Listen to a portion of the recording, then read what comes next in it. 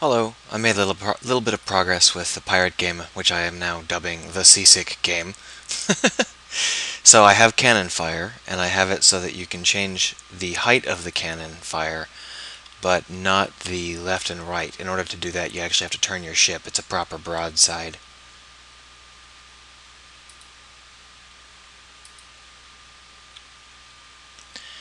But I have also added in uh, a, a gun that fires uh, at the direction you're pointing, so that even as you're maneuvering, you can still get off shots towards uh, whoever you're trying to hit.